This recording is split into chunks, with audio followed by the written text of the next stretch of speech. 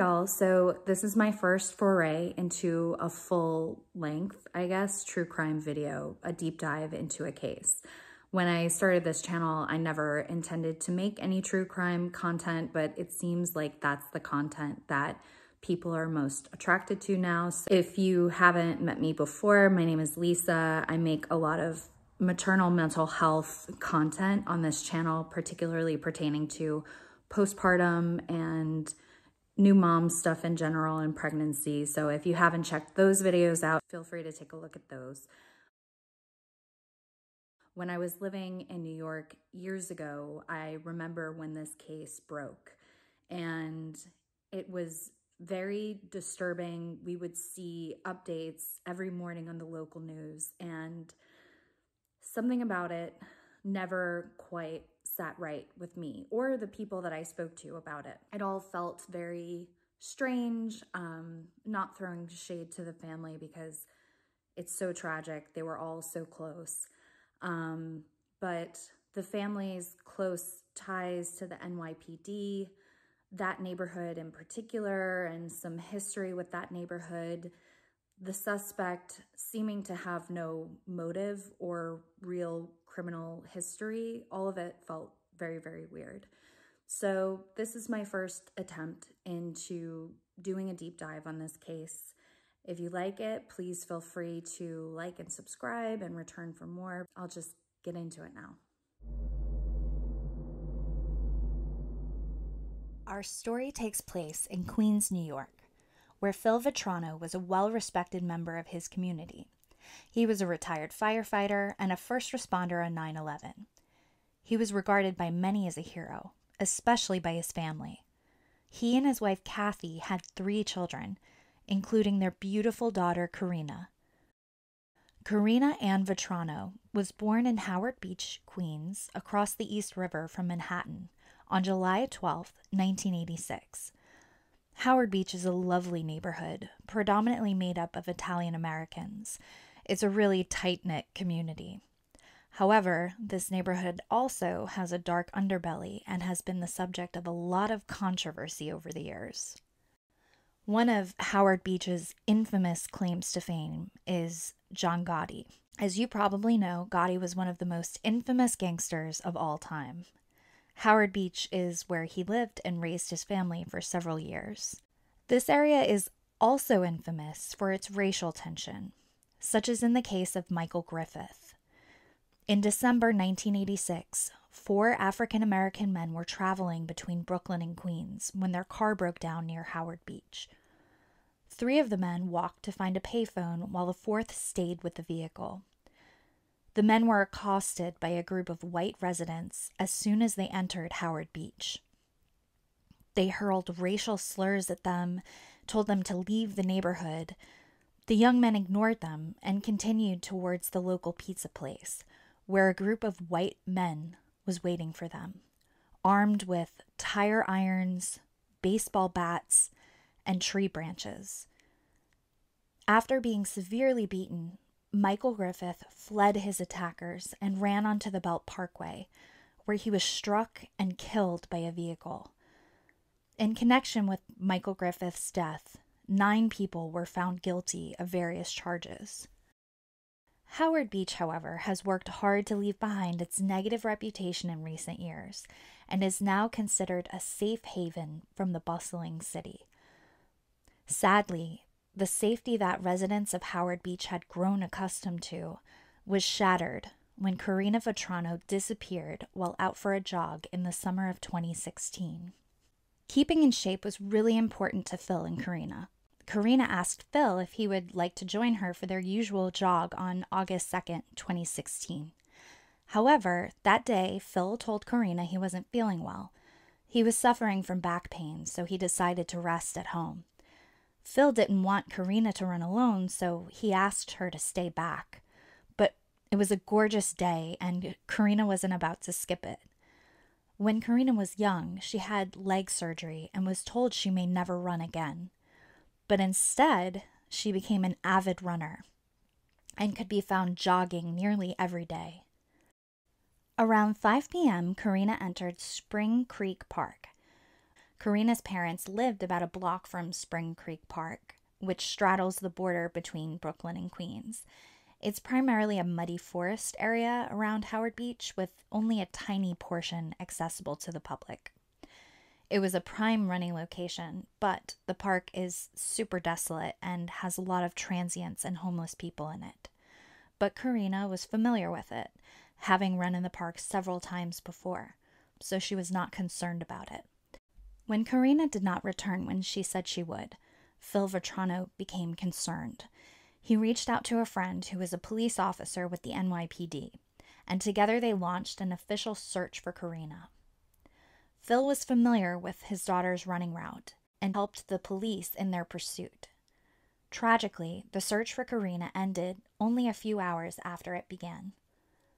Only feet from the jogging path, Phil found his daughter face down in the marsh. Upon hearing Phil's screams, police found his bloodied and scratched daughter's body beside him.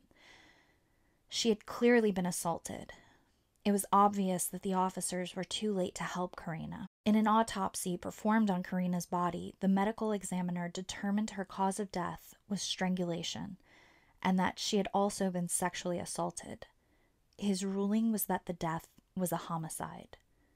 In addition to her family, Karina's murder affected the entire community. Residents poured out in droves to honor one of their own. Without their daughter, Phil and Kathy were distraught more than sad, they were furious. Address the killer himself. Uh, I know that you're tormented.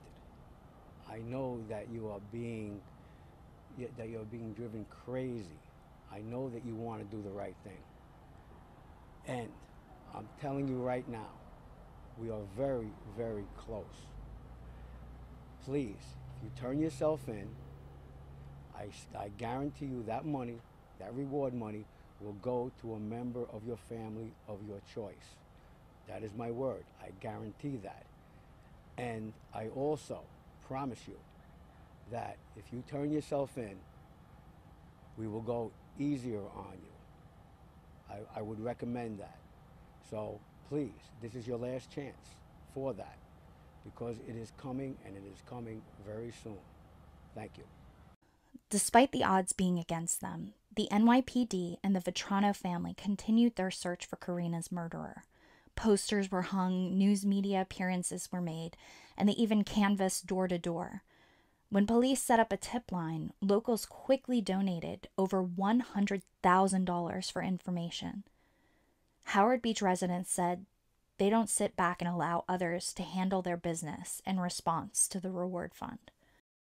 Fortunately, investigators had DNA evidence to work with in Karina's case. However, if investigators could not match in CODIS, the FBI's national DNA database, the DNA would be meaningless. The DNA of an unknown male was discovered on Karina's cell phone and on her body. Six months after her murder, the killer was caught. After matching his DNA with that found at the crime scene, NYPD officers arrested Chanel Lewis. Chanel, who was unemployed, lived with his mother in a low income housing project in East New York near the park where Karina was killed. Several phone calls about a man acting suspiciously in Spring Creek Park brought him to the attention of investigators.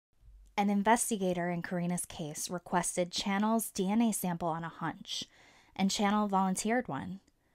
During his confession, he also described a strange puddle of muddy water that detectives had seen near Vetrano's body.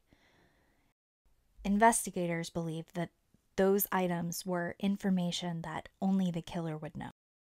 Despite having no criminal record, he allegedly had a hatred for women and once told a teacher's aide that he wanted to, quote, stab all the girls at his school law enforcement had taken Chanel into protective custody several times.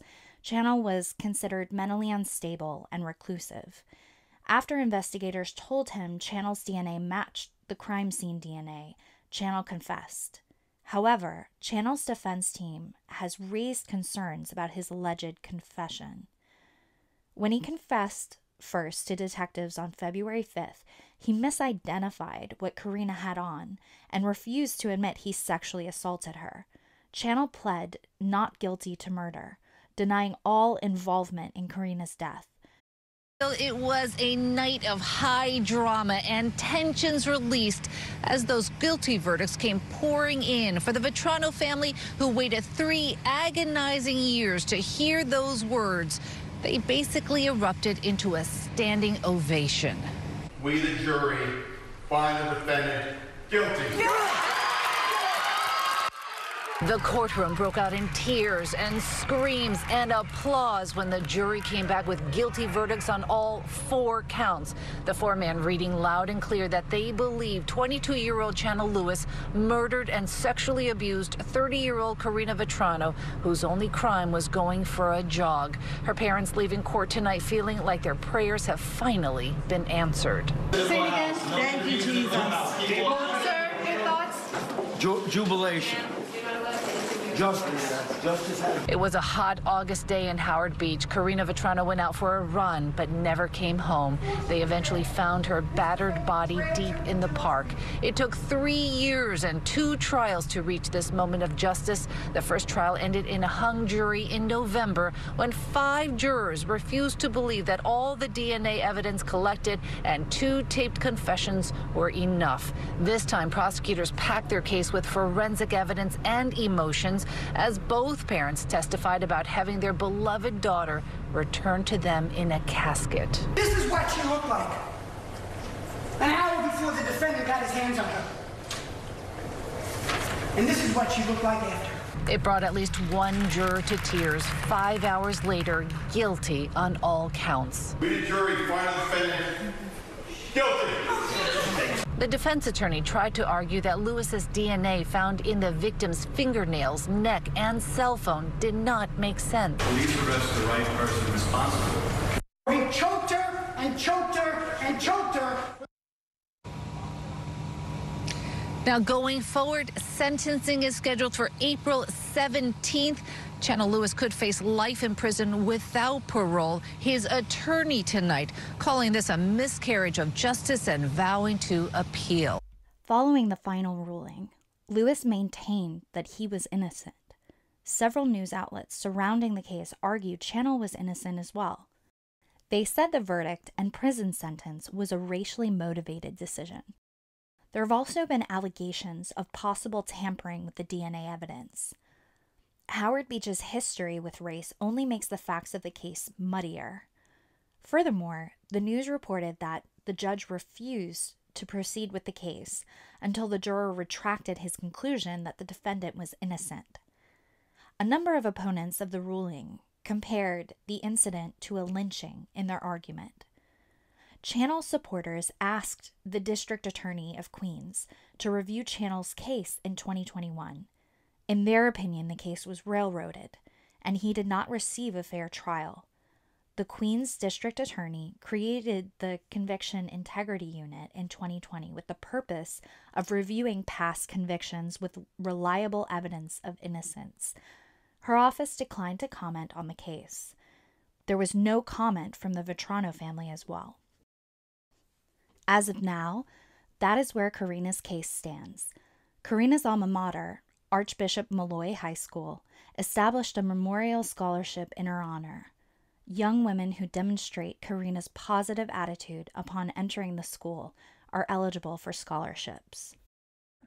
So let me know what you guys think. Um, the things that I found weird was, like I mentioned before, that this guy was just a random guy. He didn't know Karina. He lived in the neighborhood like next door to this area, but he wasn't like some homeless vagrant in the park that was like living there all the time, saw Karina all the time.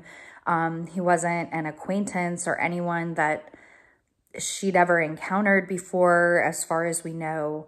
Um, he didn't have much of a criminal past. I know that he was somewhat troubled, but um, also that quote from his teacher that he wanted to like kill all women. I feel like is something that's so easily taken out of context. Like adolescents say the craziest things. But this, to me, is the weirdest thing.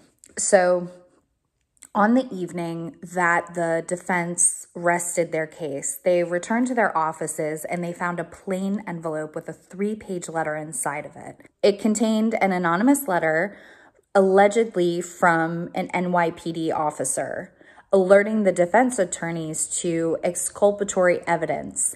The person who wrote it said that he that this had been withheld from the defense. And they said that during the first 2 weeks of the probe, there were two jacked up looking white guys from Howard Beach that were the suspects.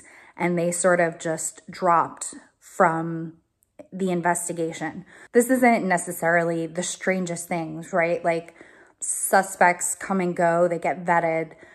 But it seems to me, based on this letter, that they weren't entirely found to have an alibi or there wasn't really just cause to stop looking into these guys, essentially.